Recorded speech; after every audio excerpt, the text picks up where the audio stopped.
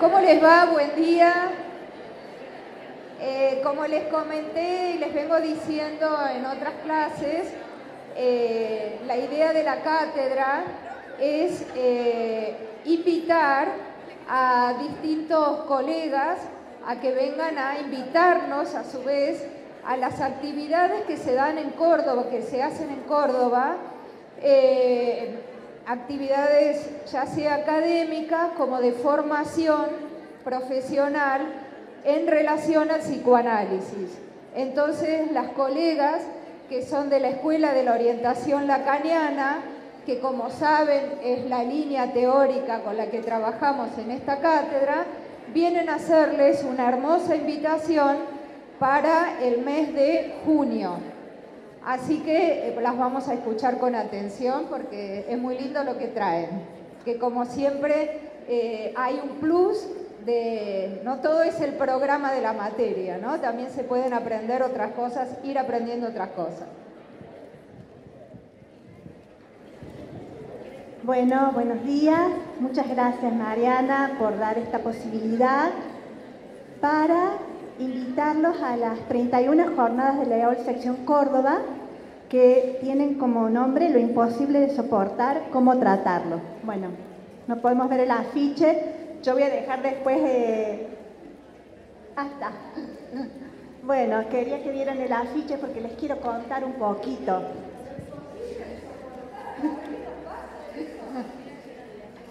¿A quién no? ¿no? Lo imposible de soportar, cómo tratarlo. Bueno, veremos. Yo les quiero contar un poquito de eh, la historia del afiche para enlazarlo con el título de las jornadas, de las 31 jornadas que van a ser el 23 y el 24 de junio.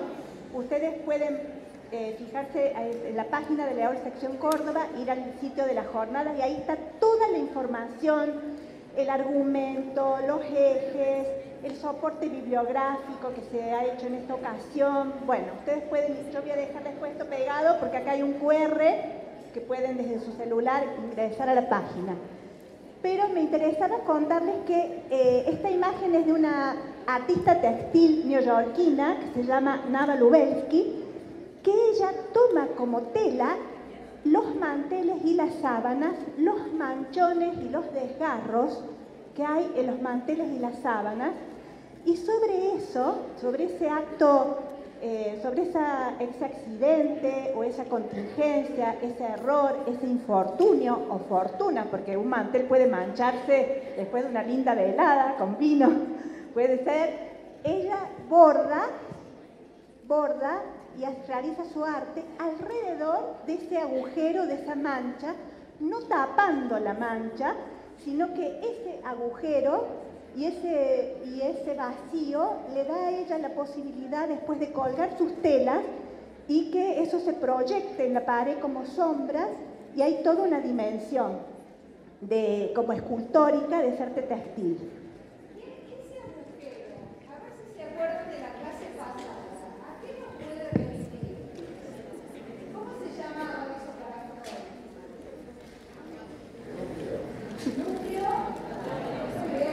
Bueno, bueno. Lo imposible de soportar, ¿cómo tratarlo? Eh, hay algo que nos interesa pensar, que estas jornadas van a tener un ras eh, clínico de la práctica clínica que siempre lleva la delantera, porque la como le pasó a Freud, porque la teoría viene detrás. Freud primero fue practicando y después fue creando su método, como ustedes están eh, introduciéndose a pensar, a trabajar estos temas, porque Topa es una clínica que es una clínica bajo transferencia, algo que también ah, todavía no, pero no llegaron, pero ya no van a trabajar. Y eh, el punto de cómo tratarlo es remite a una terapéutica, que no es una terapéutica como las demás, el psicoanálisis, pero es una terapéutica también, que implica, eh, va ligado a este punto de lo imposible. Es decir, que para tratar eso hay un tratamiento posible para cada quien, para la singularidad de cada quien. Eh, bueno, quería, le voy a dar la palabra a Virginia y después, eh, si hay un tiempito, tengo una pequeña viñetita. Bueno, hola, gracias Mariana, muy buenos días.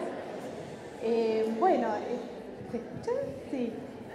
Eh, la idea de invitarlos era acercarlos, me parece que las jornadas de la sección Córdoba pueden ser una oportunidad para un acercamiento a la clínica, como decía Carolina.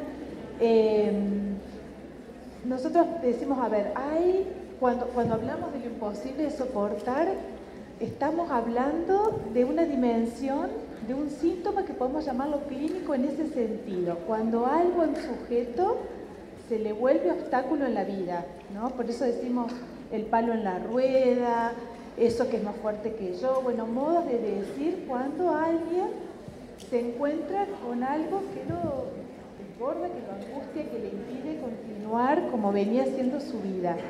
Entonces, bueno, eh, estas jornadas de alguna manera implican una transmisión de los eh, analistas de la escuela, de la orientación acaniana, de practicantes de psicoanálisis, de eso, de los obstáculos con los que se encuentran en la clínica, pero no solo del lado del analizante, sino también los obstáculos que se nos presentan, ¿no? ¿Cómo tratarlos?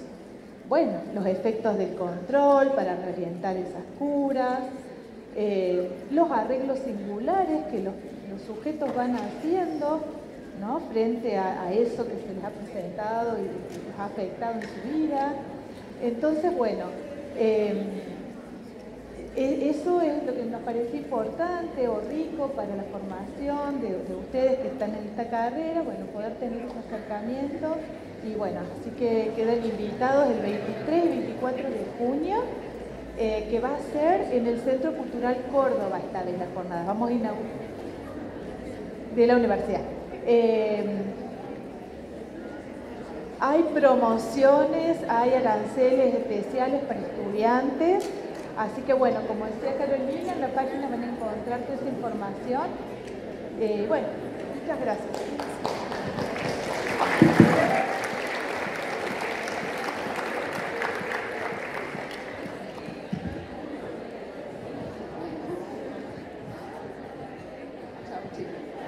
Bueno, vamos entonces a comenzar, gracias queridas colegas, eh, vamos a comenzar con la unidad 3, que es la interpretación de los sueños. Eh, vamos a hacer todo lo posible por avanzar la mayor parte de la unidad en el día de hoy, pero eh, es una unidad extensa, así que no sé si vamos a llegar a darla toda, porque ustedes la semana que viene no tienen clases teóricas, es semana de exámenes, ¿sí? Y la otra semana tienen el práctico evaluativo. Así que yo por eso quiero, porque la gente que va a rendir el práctico evaluativo antes del día jueves, no va a haber la última parte de la unidad. Bueno, creo que lleguemos, es mucho. Pero bueno, lo están trabajando en los prácticos y además lo que se les va a tomar en cada práctico evaluativo tiene que ver con lo que están trabajando en cada comisión. ¿Sí? Así que no se preocupen si no llegamos.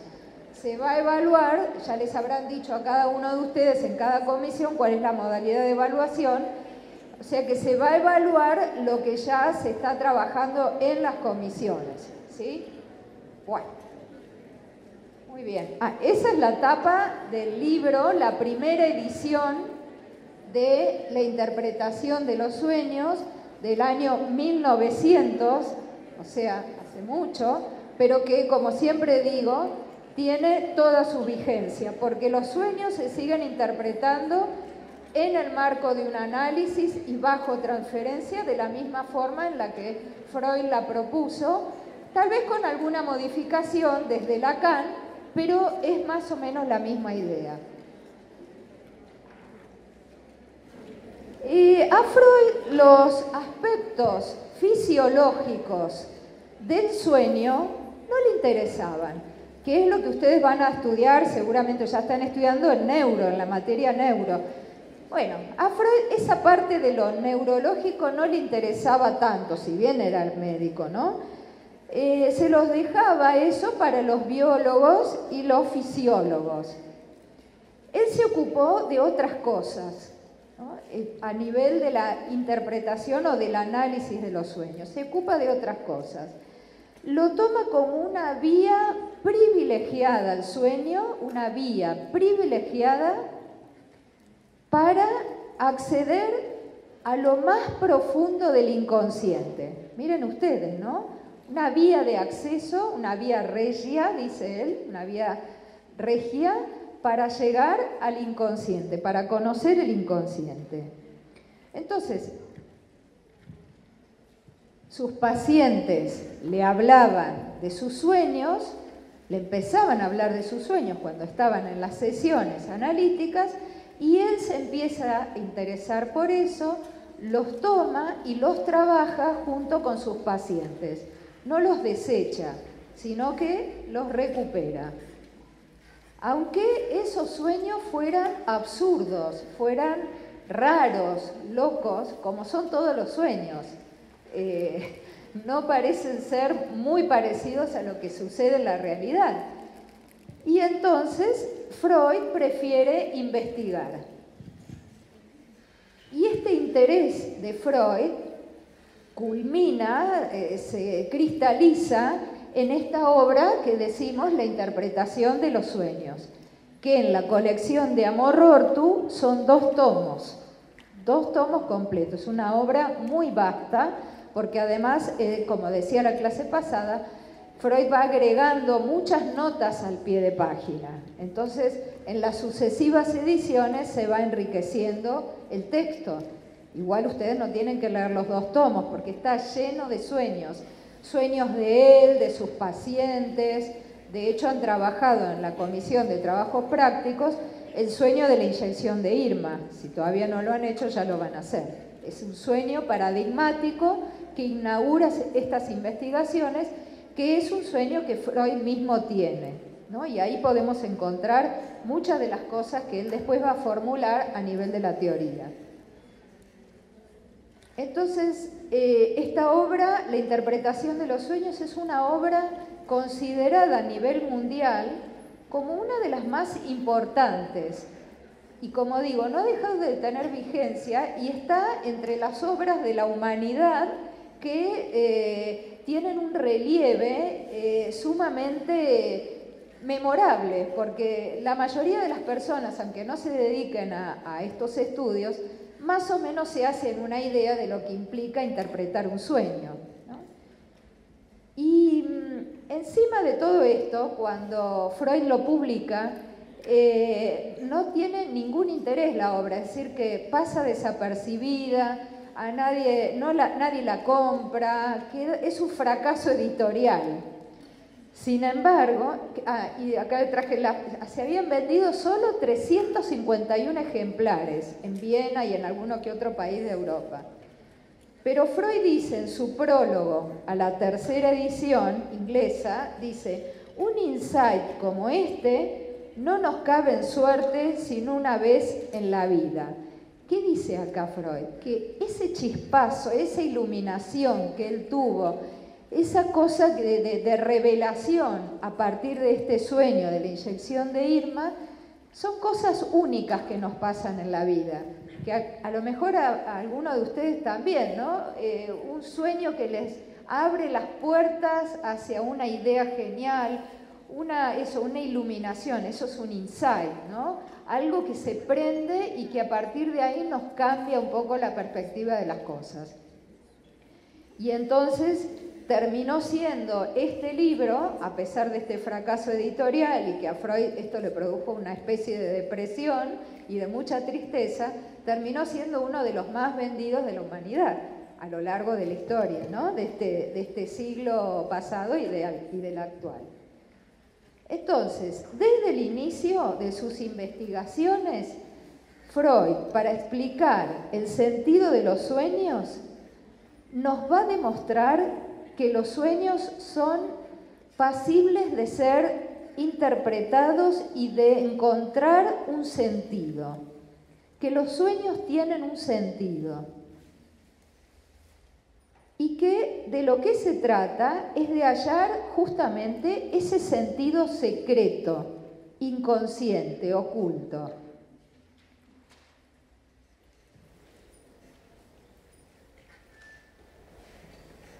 Y estos sueños que dan lugar a la interpretación no solo son actos anímicos que tienen que ver con cuestiones anímicas, son actos del inconsciente, de alguna manera, o formaciones del inconsciente, sino que también revelan algunas veces procesos somáticos.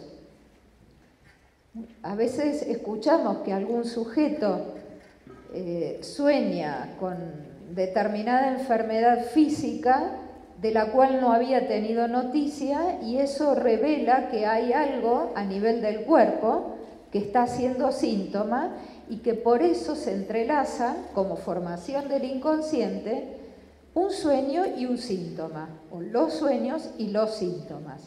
Hay una conexión ahí.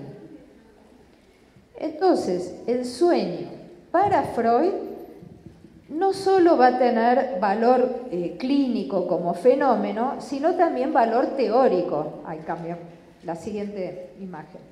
Va a tener un valor teórico, porque de lo que él investiga como fenómeno clínico, que es el sueño, va a extraer un saber teórico, va a empezar a formular conceptos que ya vamos a ver a nivel teórico.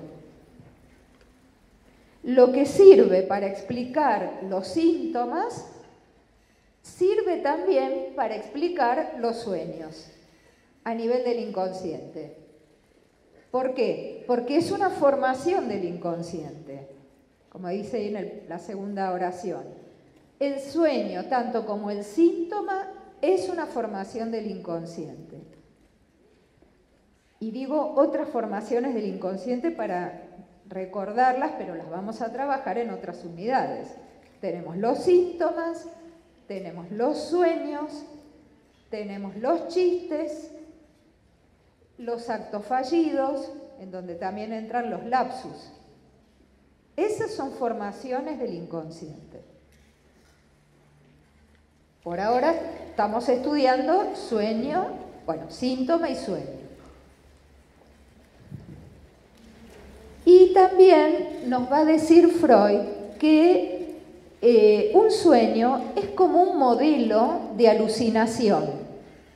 ¿Vieron cuando escucharon la palabra está alucinando? Está bien, las usamos en sentido coloquial, pero sabemos también que es un fenómeno elemental de la psicosis, la alucinación. Entonces, Freud dice que un sueño podría ser tomado como una alucinación, no en un caso de psicosis, sino en un caso también de neurosis, como trabajamos en la clase pasada, que las neurosis son lo que podríamos considerar el modo habitual de funcionar, aunque también dijimos que cada vez hay más psicosis. Pero bueno, tanto en las neurosis como en la psicosis, el sueño está, los sueños.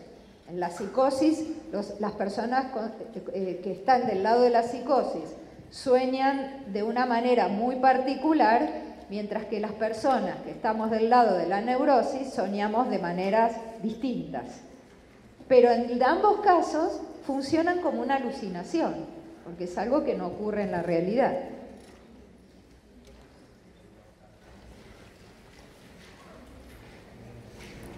Y en todo sueño hay un deseo a develar. Eso es lo que nos va a decir Freud. Porque este libro la interpretación de los sueños, podemos decir que es el libro del deseo. Es el libro, es el texto que más nos enseña sobre el deseo inconsciente.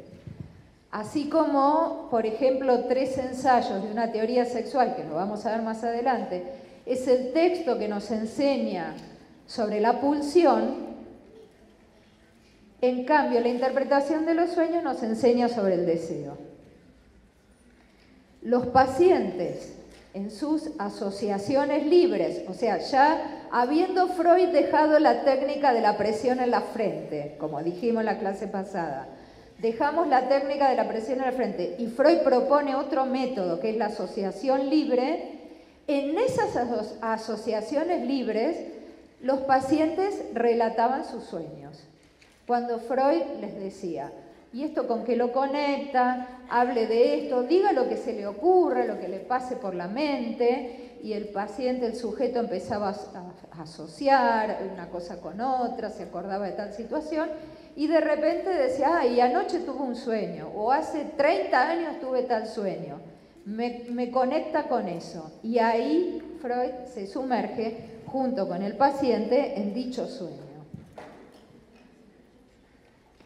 Otra de las cuestiones es que va a proponer eh, Freud tomar al sueño como eh, a nivel de fragmentos, no como un bloque. Vieron que ustedes todos soñamos como a veces como distintas escenas dentro de los sueños, ¿no? Primero pasa una cosa, después otra. A veces no, pero cuando sí pasa, Freud dice que no debemos tomar todo eso de manera conjunta, sino ir fragmentándolo, ir viendo pedazo por pedazo, que seguramente es lo que ya vieron en el sueño que él tuvo con Irma que vieron que él va trabajando parte por parte y cada una de esas partes las va asociando con diferentes cuestiones de él, subjetivas. Los sueños también tienen carácter transferencial. Lo que pasa es que Freud todavía no usaba el término, no lo había descubierto el concepto de transferencia, entonces no hablaba de eso. Pero hoy sabemos y podemos decir que cuando un sujeto le lleva un sueño a su analista, lo hace bajo transferencia y lo hace eh, con la idea y el deseo de trabajarlo en la sesión, aunque no lo diga, pero si lo lleva es porque ya hay una confianza en el, en el analista y lo ofrece como material de trabajo. Incluso eh, Freud nos va a decir que un análisis comienza verdaderamente a partir de fenómenos como estos, por ejemplo, un acto fallido, un sueño, que antes de eso estaríamos hablando más bien de entrevistas preliminares, que el verdadero sueño, perdón, el verdadero análisis aparece cuando se abre el inconsciente. ¿Y cuándo se abre el inconsciente? Con un sueño, por ejemplo. ¿Con qué más? Con un síntoma, con un acto fallido, con un chiste. Hay una apertura del inconsciente y es ahí donde podemos trabajar. Si no, ya nos quedamos en otra dimensión que sería más la de la psicología de la sugestión. Pero cuando el inconsciente se abre, si deja ver el material eh, inconsciente, y en este caso onírico, onírico del sueño, nos encontramos con eso, con que el, inconsciente ha revelado, ha, ha escupido, digamos, algo de su propia subjetividad. Em, ahí está. La idea de interpretar un sueño ya estaba en realidad inventada de alguna manera o propuesta. Em, ahí Freud nos dice que había distintos tipos de interpretación antigua de los sueños. Por ejemplo, y, los va a desarrollar, ¿no?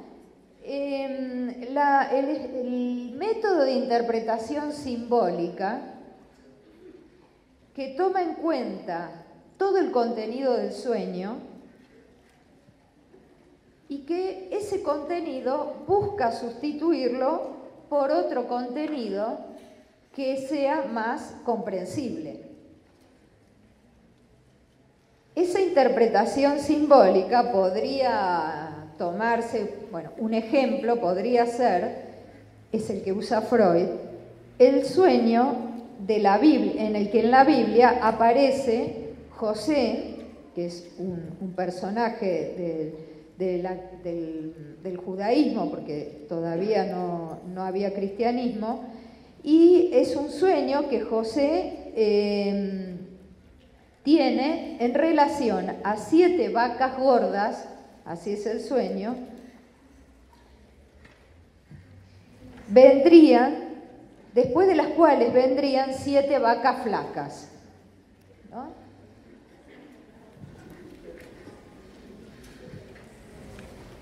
Eso significaba para eh, los egipcios siete años de hambruna. O sea, el sujeto sueña con siete vacas flacas, primero gordas y después flacas, entonces la interpretación antigua de los egipcios era que eso significaba que luego vendría una hambruna. Cosas, claro, como era como anticipatorio, como una profecía. Se lo tomaba todo, todo el, todo el bloque. ¿no? Tenía, eh, y aunque ese método este, fuera confuso a veces o incomprensible, se lo seguía tomando así. los egipcios lo usaban de esa manera. Pero Freud dice, esto no sirve, por más que los egipcios hayan hecho esto y aparezca este, en distintos escritos, no, no, sirve porque justamente a veces no, no se puede interpretar ese sueño. Fracasaba, no, no, no servía. Era más bien una cosa medio de, brujería, digamos, no, no, tenía un valor eh, científico para lo que era la época. Entonces, el otro método que Freud también menciona es el de eh, traducir como una clave fija, con una clave fija. Por ejemplo, si se sueña con una carta, se busca en el libro de los sueños, o sea, habría una clave, ¿no? Habría libros de los sueños donde dice qué significa soñar con una carta. Y puede ser, por ejemplo, disgusto. Una carta significa eso en el libro de los sueños, que se va a producir un disgusto. Eso sería como, como este, la lotería, que por ejemplo vieron que el 48 es il morto chi parla. Entonces el que sueña con el 48 ya sabe que eso le da miedo y sabe, bueno, y así varios números.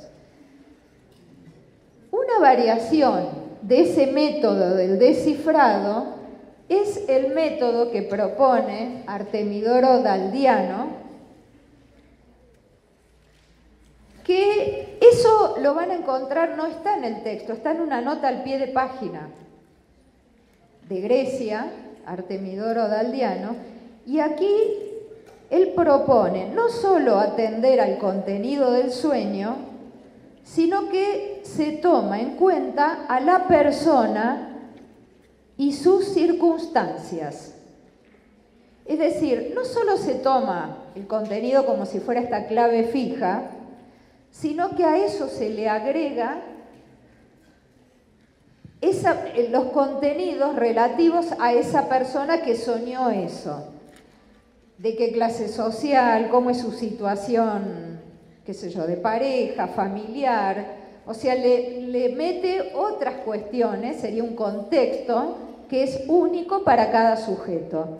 Entonces, ese método de Artemidoro Galeano es el que le interesa a Freud, para tomarlo como inspiración, ¿no? Porque dice, considera las condiciones subjetivas de cada sujeto, uno por uno.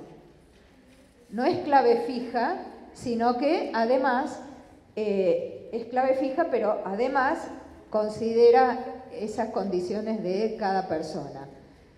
Bueno, de todos modos, le interesa, pero no es con lo que se queda tampoco, lo menciona nada más y va a proponer Freud su propio método. Están estos tres y ahora agregamos el método psicoanalítico. Creo que ahí habría otra imagen. Ah, bueno, ahí voy con eso. Entonces, este sueño, este, este modo de interpretación o de pensar los sueños que propone Freud, considera al sujeto en su singularidad.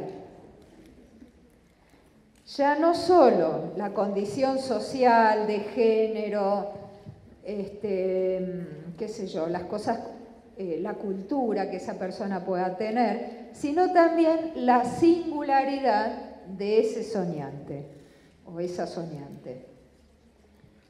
Quiere decir que cuando alguien le dice a ustedes que son estudiantes, soñé con tal cosa, ¿qué quiere decir eso? Y no lo pueden saber ustedes, porque eso se produce bajo transferencia en una situación de análisis. Ustedes podrán decirle, y soñaste con una carta, debe querer decir que tu novio te va a escribir, bueno, ya no se mandan cartas, pero bueno, te va a mandar un mail, no, tampoco, un mensaje de Instagram. Ya quién sueña con cartas, pueden ser las cartas de jugar también, también ahí hay una equivocidad. Bueno, pero la cuestión es que no, no sirve que uno le quiera interpretar el sueño al amigo o a la amiga o a la pareja, porque esa interpretación debe ser hecha en una condición de análisis bajo transferencia y con un otro que escucha esa singularidad. ¿sí? Nos podemos divertir un poco con eso, pero no más que eso. No sirve a nivel clínico. Em, entonces, lo, curioso, la, nota de color, la anécdota de esta cuestión, es que el 23 de julio eh, de 1895, Freud sueña con esta paciente, que ustedes ya han visto la mayoría, Irma, que se llamaba Emma, y va a analizar profundamente ese sueño fragmento por fragmento, y así es como sienta las bases de esta, de esta obra, la interpretación de los sueños, y descubre el método de, interpretación. Incluso Freud va a jugar, juega un poco con su amigo Flies en una carta que él le manda, y bueno, como dice Lacan, Freud nunca jugaba gratuitamente, ¿no? Ahí había también algo para, decir. Y lo que mm, este, dice Lacan es que eh, Freud imagina que algún día se iba a colocar sobre la puerta de su casa de campo, de Bellevue, que es un lugar donde Freud iba de vacaciones, donde ocurre este sueño, una placa que diría lo siguiente, Aquí, el 24 de julio de 1895, por primera vez, el enigma del sueño fue desentrañado por Sigmund Freud. Eso se imaginó Freud, ¿no? Como quien dice, acá en la puerta de la facultad este, va a aparecer una placa de este, el primero que se recibió todo con 10, supongamos. Bueno, él, acá va a haber una placa. Bueno, la cuestión es que la placa está, él en eso y ahí está, ahí donde él vacacionaba, y esa es la placa que verdaderamente está después de todos estos años, ¿no? Eh, sí.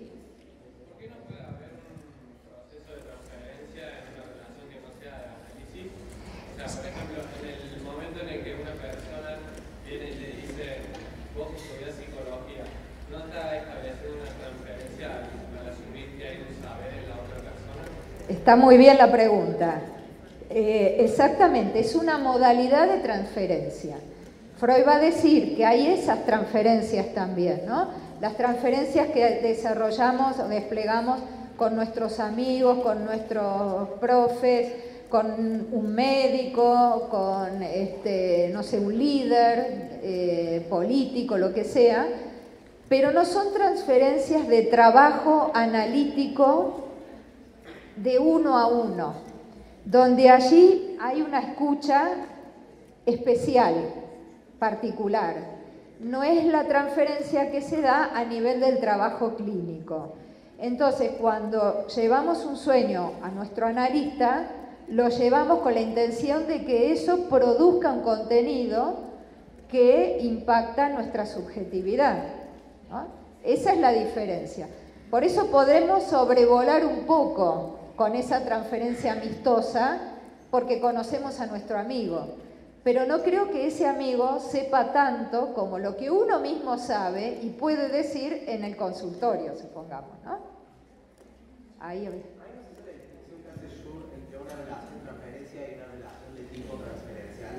Eh, sí, podríamos decir así, que una relación de tipo transferencial se diría la que dice el compañero, con los pares, bueno, pero la relación de transferencia es la que posibilita el tratamiento analítico.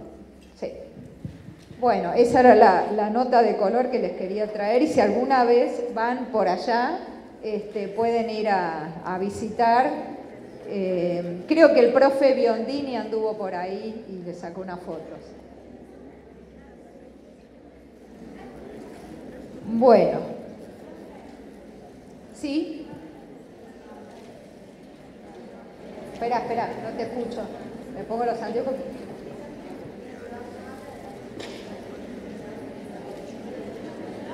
Sí, está la distinción entre transferencia positiva y negativa, pero eso lo vamos a ver cuando lleguemos a la unidad 9, creo que es, y vamos a desplegar y desarrollar bien todo el, el aparato ese.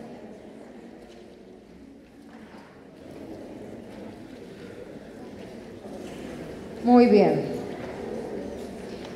Bueno, a ver, por ejemplo, tomando un poco la pregunta del compañero, ¿no? Eh, esto de analizar sueños así que no sean en el marco de un tratamiento analítico, eh, todo el tiempo pasa. Yo el año pasado les traje el ejemplo de algo que había observado en este, el diario New York Times, eh, donde había una especie de, ejercicio que el diario propone a sus lectores, que es ¿qué sueña usted durante la o qué soñó usted durante la crisis del coronavirus?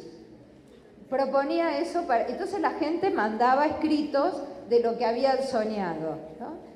Es decir que em, esto eh, no, no, no solo, digamos, cada tanto aparece, y ya les traje unas imágenes para mostrarles, cómo cada tanto aparece este interés por los sueños en los medios de comunicación o en el arte o en, la literatura, porque los sueños tienen esa cosa un poquito misteriosa, enigmática, atractiva. Entonces el arte, la comunicación, las noticias, y bueno, como digo, la literatura, el cine, se ha servido como material, de ellos. Pero lo que igualmente está en juego en cada sueño es algo del orden de lo traumático. Es decir, podemos decir, eh, soñé en la época de la pandemia, ¿quién no soñó con algo? ¿no? estábamos todos traumatizados en ese momento algunos más, otros menos, los jóvenes tal vez no tanto, o menos que las personas mayores. O sea, cada uno vivió la pandemia de una manera diferente y soñó algunas cosas en relación a eso. Pero lo que se pone en juego en todo sueño no es tanto los traumas cotidianos, sino ese agujero traumático que vimos recién en esa obra de arte, eh, o del núcleo patógeno o del ombligo del sueño, como lo llama Freud. Hay algo de lo traumático inicial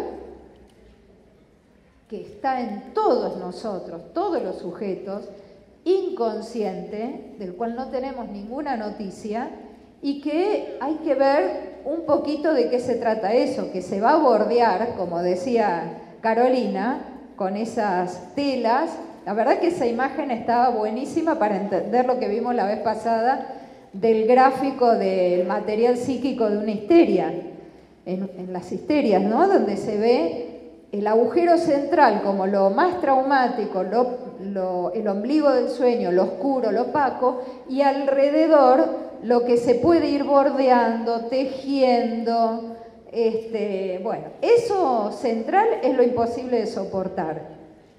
Eh, pero no sabemos de qué se trata eso. Capaz que uno dice, ay, yo no soporto la gente que habla mucho.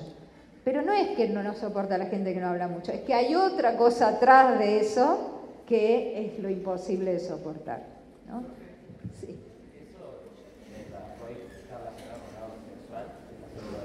Eso traumático, no, está tan, eh, en realidad, el compañero pregunta si está relacionado con algo sexual.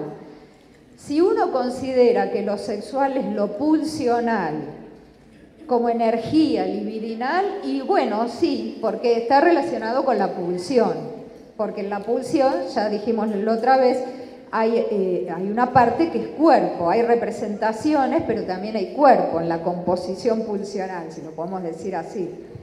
Entonces, hay un componente sexual que puede ser más bien de agresión, ¿no? Por eso Freud dice al final de su obra que eso es un componente de agresión libre. Como no se puede nombrar, queda bajo esa, ese agujero oscuro opaco. Lo que no se puede nombrar es, bueno, ahí puede haber de todo. Es cargado de energía, eso seguro. ¿Sí? Bueno, diría Freud de las personas que no sueñan que todas sueñan. Lo que pasa que no se lo acuerdan. ¿Por qué? Porque ese sueño sucumbe bajo represión, es censurado y hay una resistencia que impide recordarlo. Es mucho mayor. Y todo el tiempo escuchamos gente que dice yo no sueño nunca, nunca sueño con nada. Pero a veces esas personas tienen un sueño y ahí habrá que ver qué se abrió, qué se despertó, que soñaron, qué se abrió del inconsciente.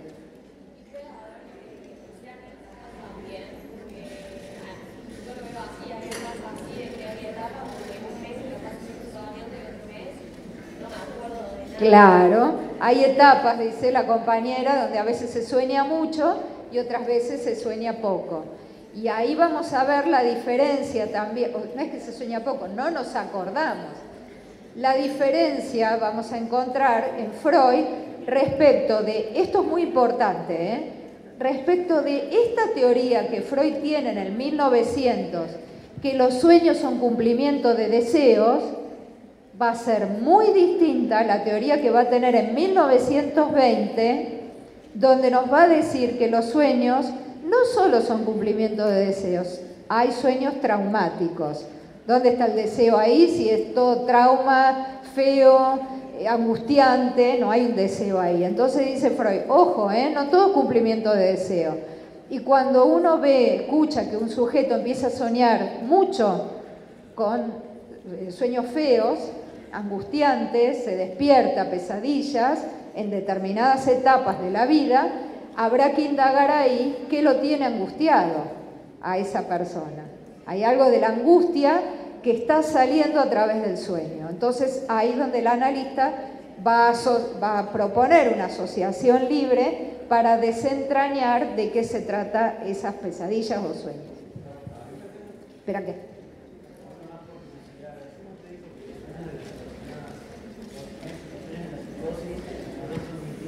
Sí. Los sueños en la psicosis uno puede observar, algunos, no todos, que son como más eh, vívidos, más reales, eh, más, menos simbolizados. Entonces puede haber sueños realmente de, cosas de la, carne, ¿no? del cuerpo, muy literales.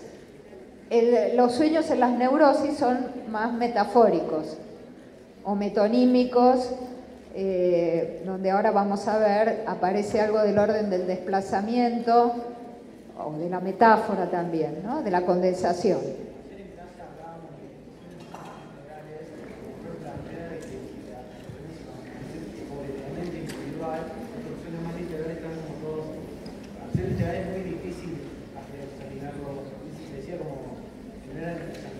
no eran tan interpretables, exactamente, como los sueños de los niños, que son más literales. Sí.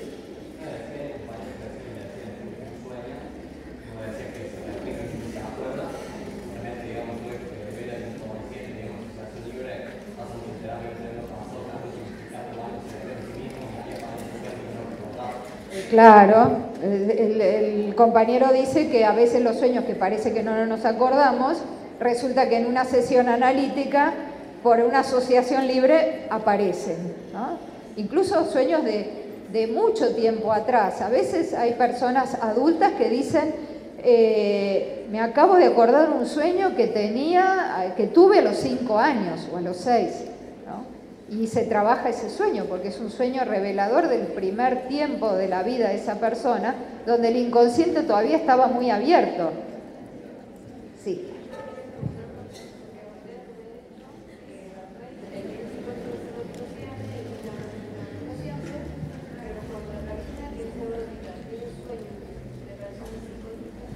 No, no, claro.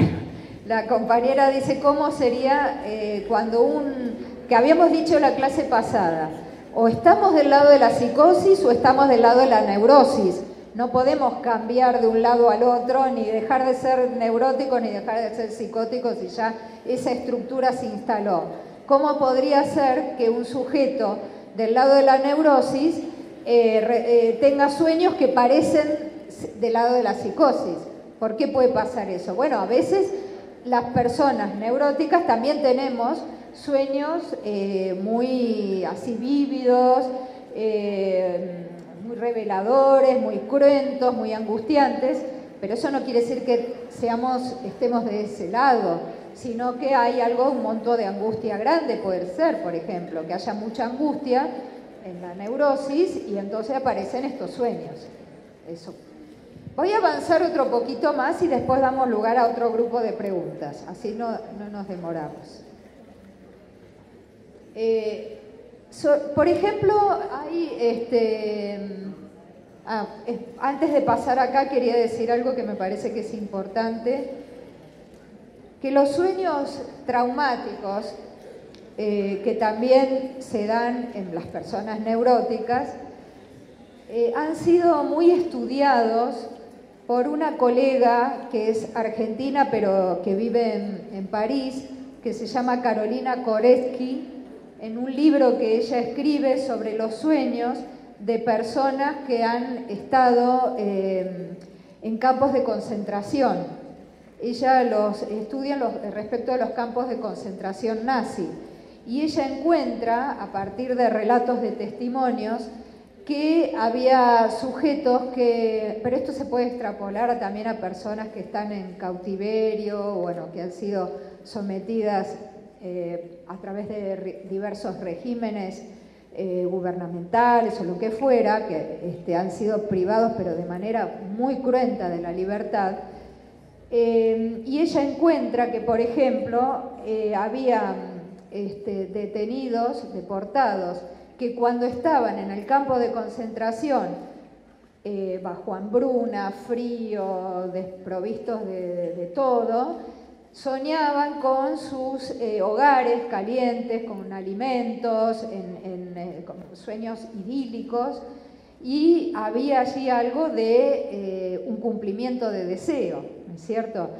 Pero cuando volvían, algunos habían tenido la fortuna, la suerte de regresar a sus, hogares luego de cuatro o cinco años de estar allí, empezaban a soñar con los campos de concentración, con las vivencias traumáticas, con el hambre, el frío.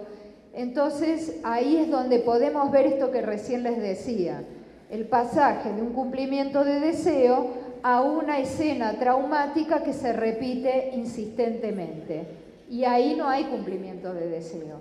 Ahí hay algo más allá del principio de placer que es lo que Freud va a descubrir en 1920, a partir de su, también de lo que él recibía en su consultorio de los este, soldados que venían de la Primera Guerra Mundial y seguían soñando con las vivencias de la guerra.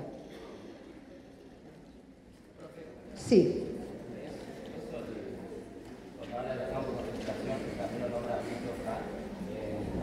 Sí.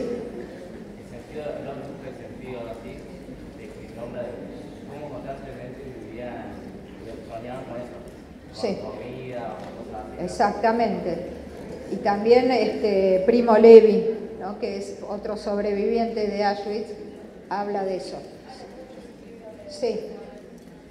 Y el de Primo Levi, que se llama así, esto es su nombre, es la experiencia de él en un campo de concentración, pero enseña sobre la experiencia, la, vida humana, a, a, qué punto puede llegar una persona en un estado como ese, ¿no?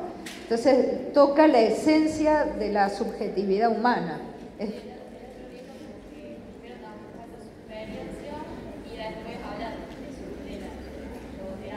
Bueno. Sí, sí.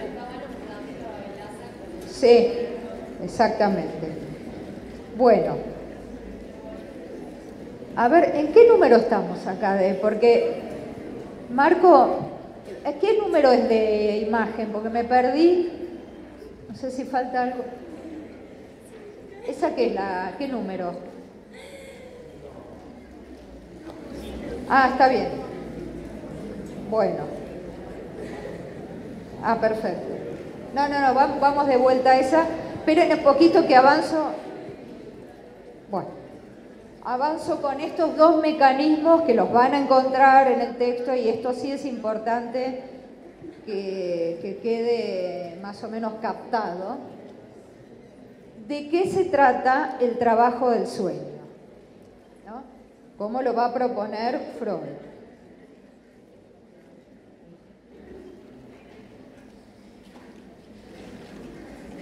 Dice Freud que para que un sueño se produzca tiene que haber una desfiguración onírica. Tiene el sueño para que se produzca y llegue a la conciencia va a parecer disfrazado, desfigurado. Salvo estos que decíamos así muy reales, ¿no? Pero los sueños tranquis, digamos, llegan así, desfigurados y va a decir que el sueño va a llegar desfigurado a la conciencia cuando nosotros ya nos acordamos de lo que soñamos y se lo llevamos al analista o se lo contamos al amigo o al que sea, va a llegar como un relato, porque lo podemos relatar. Podemos decir, ayer soñé con que iba caminando por un prado y se me cruzó una vaca y entonces salí corriendo porque me Ahí hay un relato, ¿no? Es decir, que ese relato es el que le llevamos al analista o el que contamos antes de haber sido sometido al análisis. Así, como lo recordamos. Es la producción verbalizada, es como lo podemos decir. Ya le ponemos la eh, sintaxis, la gramática, ya no son piezas sueltas, imágenes sueltas, palabras, ya lo armamos en un relato. Y ese, eso que podemos relatar ya se encuentra entre el preconsciente y la conciencia. Está ahí. ¿no? Porque si ya pasó, ya, pudo lo, ya pasó el preconsciente y ya lo podemos relatar, ya está. Entonces se produjo allí un proceso secundario, una elaboración secundaria. Hay una energía ligada, porque no está todo suelto la libido, esto que decíamos recién, no está todo eh, de aquí para allá, está ligado para poder contarlo. Hay una energía en la, en la verbalización estamos poniendo energía. Yo ahora estoy tratando de transmitir esto, estoy poniendo una energía, estoy verbalizando algo teórico. Entonces, al contar el sueño, ligo esa energía. Eso entonces es un proceso secundario, porque primario, ahora lo vamos a ver, es cuando lo soñé y estaba ahí, estaba durmiendo pero ahora que lo puedo contar, estoy en un, segundo tiempo. Y se conecta con el principio de realidad. ¿Por qué? Porque yo, para poder ser entendida, tengo que usar las palabras de manera tal que el otro me entienda. ¿El relato? Se conecta con el principio de realidad. Esto es la realidad. Lo que estamos viviendo ahora ustedes tomando nota, yo hablando. Esto es el principio de realidad. Cuando preguntan, ¿qué es el principio de realidad? Es esto. Estamos trabajando, estamos en un, en un estado consciente, salvo que alguno se haya dormido y esté pensando en no sé qué, pero estamos todos tratando de estar, de, estamos en la universidad, nos estamos portando bien, a nadie se le ocurre nada fuera de lo, de lo que debe hacerse a nivel de la realidad. Entonces, el sueño relatado está en el marco del principio de realidad. Ahora, ¿cómo llegamos a eso? Llegamos a partir de el contenido latente, que son las significaciones que se producen a nivel del inconsciente y que por lo tanto nos permiten ubicarnos en un proceso primario. ¿Por qué primario? Porque todo eso está en estado crudo, digamos. Está suelto. ¿Cómo? Eso es el proceso primario. El, el sueño en estado latente. Es como lo soñamos. Ni siquiera nos acordamos de cómo fue verdaderamente el sueño. El sueño, recordamos, ya dijimos, lo que llegó a la conciencia.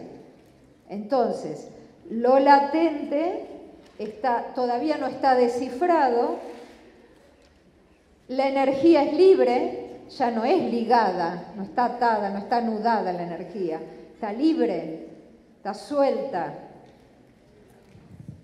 Y, dice Freud, esto nos ubica del lado del principio del placer, en ese momento de la enseñanza ¿no? de Freud. Es principio de placer porque dice Freud en ese momento que todo sueño es un cumplimiento de deseo infantil reprimido. Y entonces, si es infantil reprimido, lo que está reprimido está conectado con el placer, con la satisfacción. Ya vamos a llegar a eso. Entonces, trabajo de sueño. Dos tiempos, vamos a decir al revés. Primero, contenido latente, lo no recordado, lo opaco, lo no ligado, proceso primario, principio de placer. Segundo tiempo, proceso secundario, contenido manifiesto, energía ligada.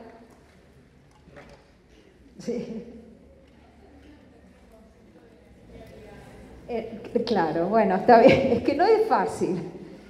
Energía ligada en ese... A ver, nosotros como sujetos somos pura energía. Vamos a partir, somos un cuerpo, entonces, como somos un cuerpo que con órganos, con, y también con, con producciones, este, con representaciones, vamos a decir así, inconscientes, tenemos, funcionamos gracias a la energía. Las plantas también tienen energía para crecer, los animales también. Pero nosotros tenemos una energía particular porque soñamos y porque hacemos chistes y por cual. Esa energía Freud la llama libido. ¿sí? Cuando esa energía está a nivel del inconsciente, no la, no la podemos ni nombrar siquiera, no sabemos nada de eso, esa energía está libre, fluctúa a nivel del inconsciente no, la, digamos, no la podemos captar. Cuando esa energía se hace consciente, por ejemplo, a través del relato de un sueño, está ligada. Está ligada porque está ligada a nivel de significantes. Hay una cadena. Una cosa es que tengamos significantes todos sueltos, o sea, así, toda una cosa sin sentido, no ligado, y otra cosa es que estén en un relato anudados en una cadena. S1, S2, S3, S4, que se produce. Ahí está ligado. Está ligado pues está atado, eso quiere decir. Claro, ligado a la verbalización, ligado a la cadena de significantes que se escuchan, que era cuando decíamos el el árbol, ¿se acuerdan de lo vimos en la imagen, era el árbol, que la palabra árbol era el significante, ¿sí? Porque yo escucho, me escucho a mí misma decir árbol, ustedes dicen árbol, pero el significado está oculto, ah, supongamos, ¿no? O es la idea, lo que, la idea que uno tiene a nivel de la representación, pero lo que se escucha es el significante. Entonces, cuando yo hablo y relato, relato con, un lenguaje. Por eso el inconsciente está estructurado como un lenguaje, decía Lacan. Bueno, entonces, estos mecanismos nos van a llevar a la idea de la condensación y el desplazamiento.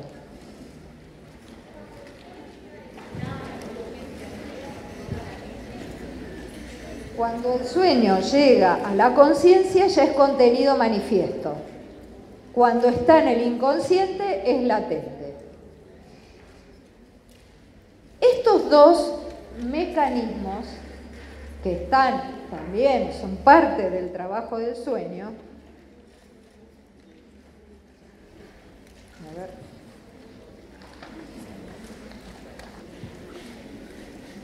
nos va a decir que también intervienen en la formación de síntomas, ¿no? ¿Se acuerdan que la condensación tenía que ver con eh, el síntoma, ¿no? Porque se condensaba en una misma representación o en un mismo elemento varias, la sobredeterminación que vimos la clase pasada tiene que ver con la condensación o sustituir un dolor físico por uno psíquico eh, también es condensación.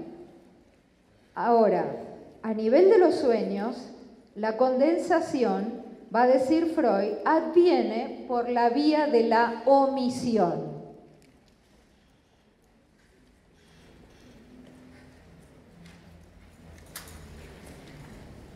El sueño, dice, no es una proyección punto por punto de lo inconsciente, sino que se proyecta a nivel de la conciencia como algo lagunoso, dice esa palabra, incompleto. Entonces, hay condensación porque se omite gran material, mucho material inconsciente y aparece en la conciencia desfigurado así, eh, poquito, incompleto, borroneado, lagunoso. Dice también eh, Freud que tiene, eh, para hacerse así lagunoso y desfigurado, distintas estrategias. Por ejemplo, acumulación de elementos, por ejemplo, en una misma cara, tiene la barba de un tío, los ojos de la abuela, hay el famoso sueño del tío José, que no es el José que soñaba con el faraón de las vacas flacas, sino que este, el tío de, Freud, ya ahora vamos a llegar, él sueña con este tío, eh, que no sé si vamos a llegar porque estamos cortos de tiempo, pero bueno, léanlo, está en la página 156, el sueño del tío José. Allí, este, en esto de la acumulación y las formas mixtas, como recurso, les digo rápidamente, eh, Freud, hay todo un recorrido que hace Freud desde su contenido latente a su, al contenido manifiesto, en donde eh, Freud tiene un deseo y es ser profesor de la universidad. Pero eh, él sabía que eso iba a ser muy difícil por su condición de judío.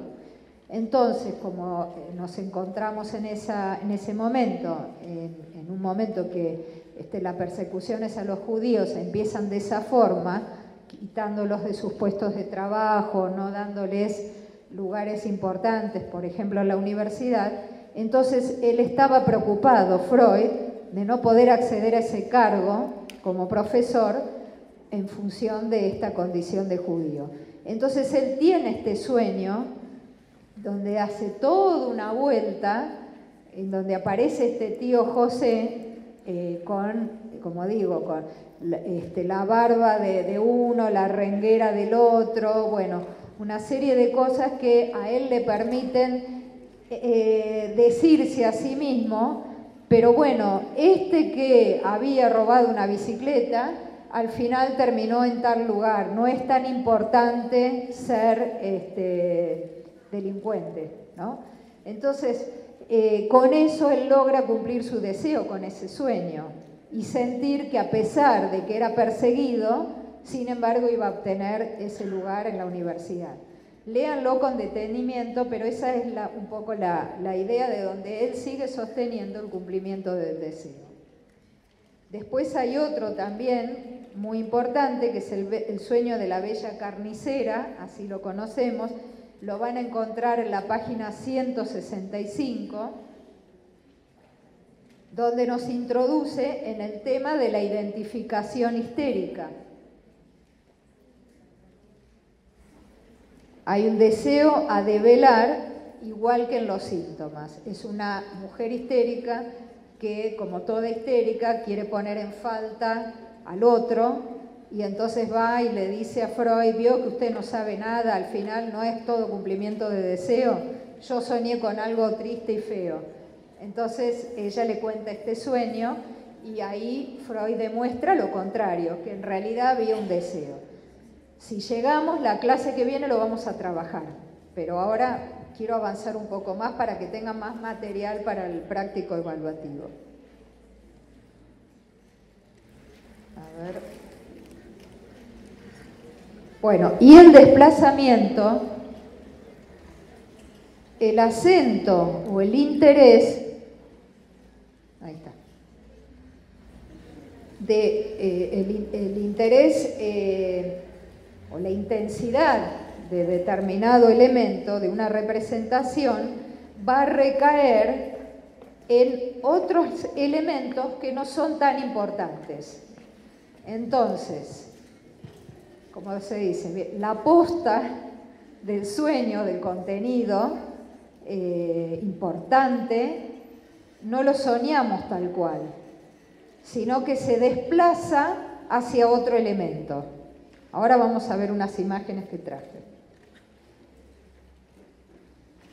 Tanto en el sueño de la bella carnicera como en el del tío José hay elementos de desplazamiento también. No todo es de condensación.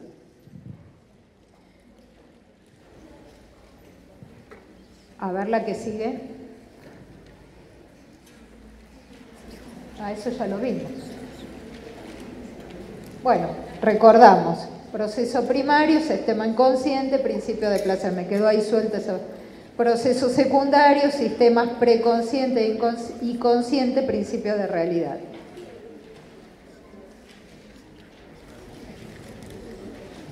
El desplazamiento y la condensación son dos maestros artesanos a cuya actividad podemos atribuir principalmente la configuración del sueño.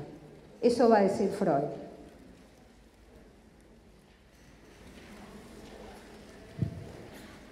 La, siguiente.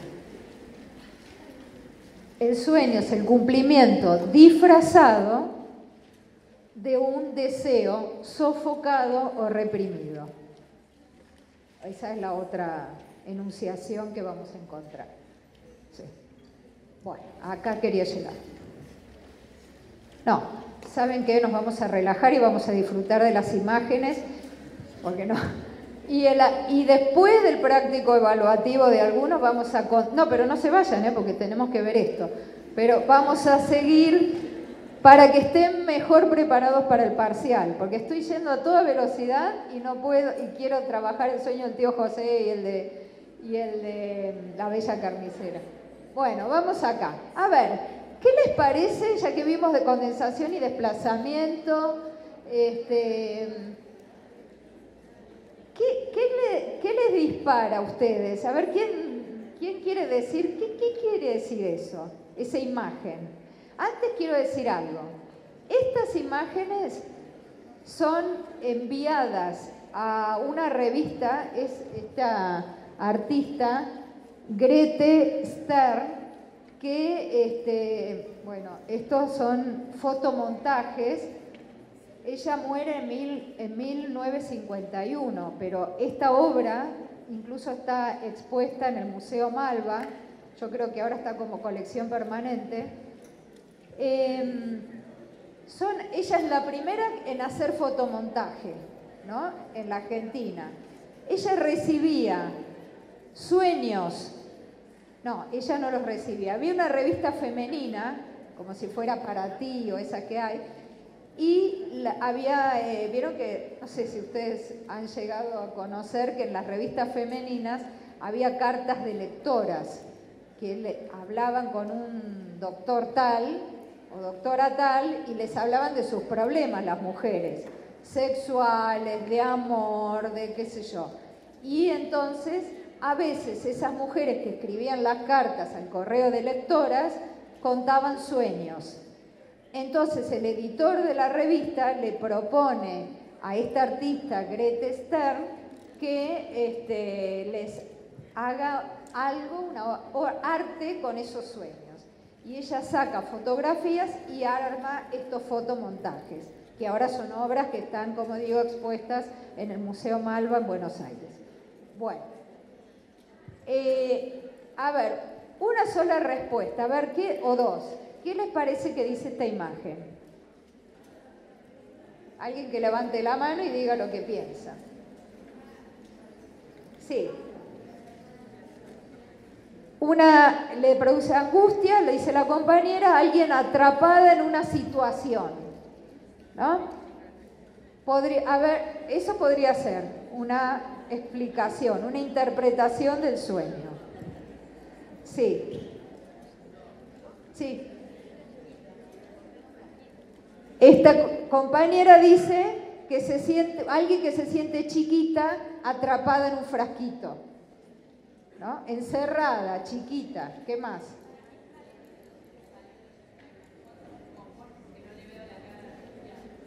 Es alguien, dice la compañera, que no quiere salir de su zona de confort porque no le ve cara de angustiada.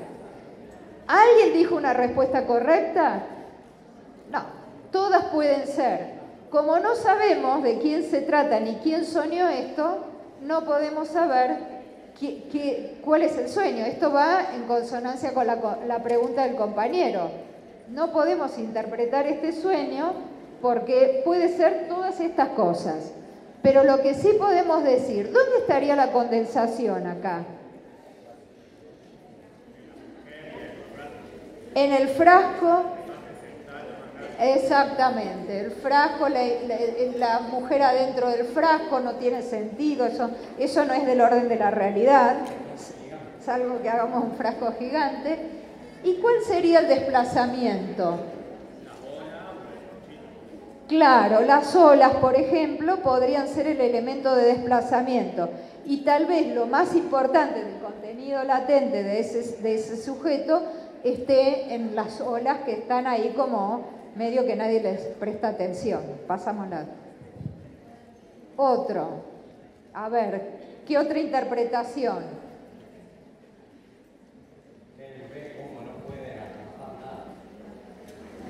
Alguien que ve cómo no puede atrapar nada. Con las manos que no llegan. Bien. ¿Sí?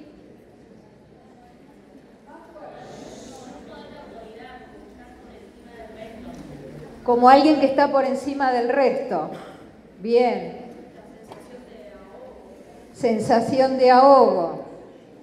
O sea que también acá tenemos varias interpretaciones posibles a una imagen que podría ser un sueño y eh, fíjense de qué manera rara, extraña, fuera de la realidad se presenta. Pero ¿cuál sería el contenido ligado, por ejemplo? Si yo quiero relatar esto, voy a decir, había un ojo con unas manos que intentaban atrapar ese ojo, un ojo gigante, Ahí está ligado el contenido, porque yo estoy relatando el sueño, pero todavía no sé el contenido latente, porque no lo sometí al análisis. Otra, siguiente imagen, a ver. Miren esta.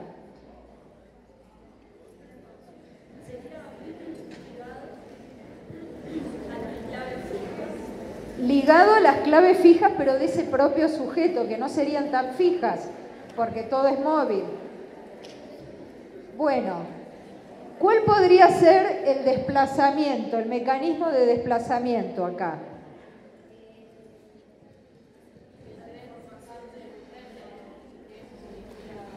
Claro, porque lo que está en primer plano es la boca de eso, ahí hay una condensación, ¿no es cierto? Entre una boca que parece de un reptil o no sé qué, con un tren. Ahí hay una condensación. hay una mujer en primer plano, pero al fondo, que también hay un mar, hay distintas cosas, podríamos decir que a lo mejor lo más importante del sueño está en el último vagón del tren. Y un analista, si el relato es, hay un tren largo, al principio se ve una boca, ese tren es como una víbora, y hay una mujer asustada, eh, y al fondo del tren es muy largo, pero no se ve bien, capaz que un analista podría preguntar ahí, ¿y qué hay al fondo del tren? No, nada, no se ve porque el sujeto se resiste. No me acuerdo. No, no, piense un poco más. ¿Qué habría al fondo del tren? ¿Qué? Claro, y ahí podría decir, podría todo en potencial la persona, ah, no, ahora que pienso bien, me hace acordar al vagón del tren cuando fui con mi madre a ver este, a mi abuelito y ahí aparece todo un campo de representaciones y de asociaciones libres que a lo mejor no le hubiéramos prestado atención.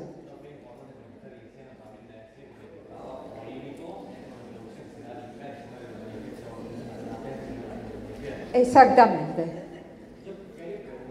La otra.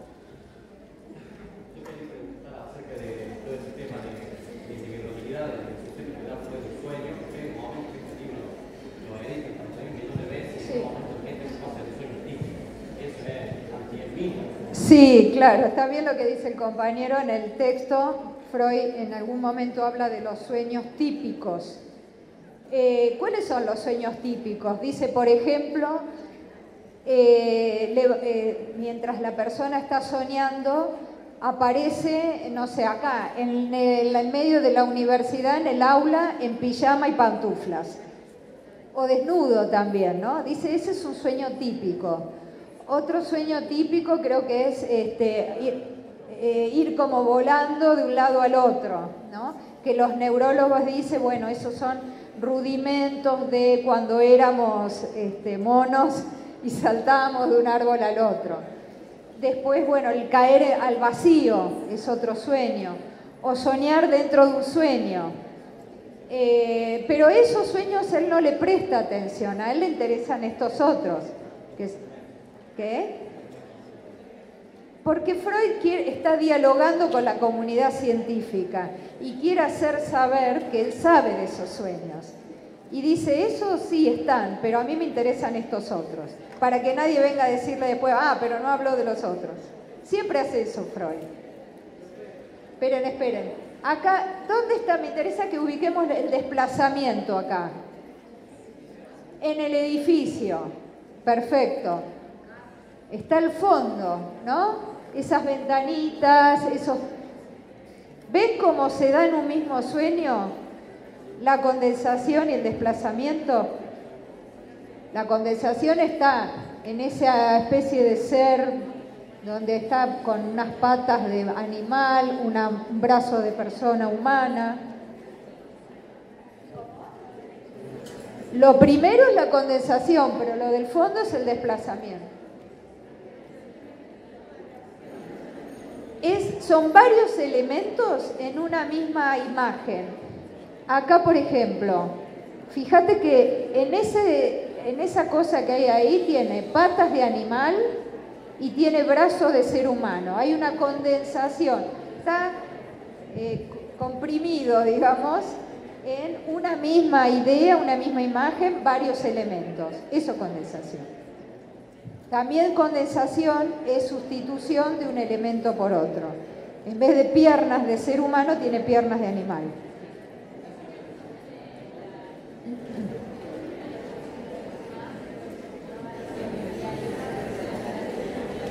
Claro, el sueño de la inyección de Irma y elementos de condensación, exactamente. La siguiente. Bueno, lo mismo, seguimos la misma idea. Quiero pasar nomás que Marco, que ahí está. Bueno, Dalí, que es un gran exponente de, pintar los sueños. Él pinta sus propios sueños y los que les contaba Gala, su mujer, eh, gran admirado por Lacan también, y acá es, bueno, una representación viva de la condensación en esa cara que termina siendo como un trapo, una tela, y al fondo algo que no se entiende bien, que es si un castillo, un montículo de tierra. ¿Quién me levanta?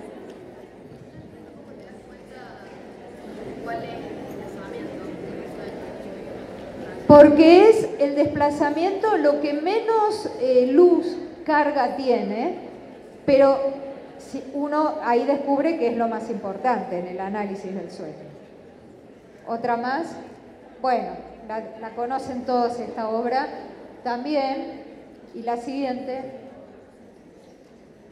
son todas imágenes de sueños, hay una más creo, sí, esa es la última, fíjense la riqueza de, este, de esta pintura, donde hay todo. Espera.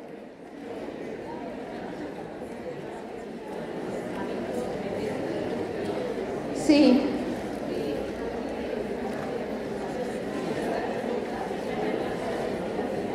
Y porque se da así, es el nombre que Freud les pone, pero es lo que sucede a nivel del sueño a las dos cosas. Bueno, ¿por qué hay tanto alboroto? ¿Ustedes se tienen que ir a otra clase o algo así? A ver, o dan por sentado que a la una y media terminamos. ¿Eso es? ¿O están cansados? ¿Están cansados?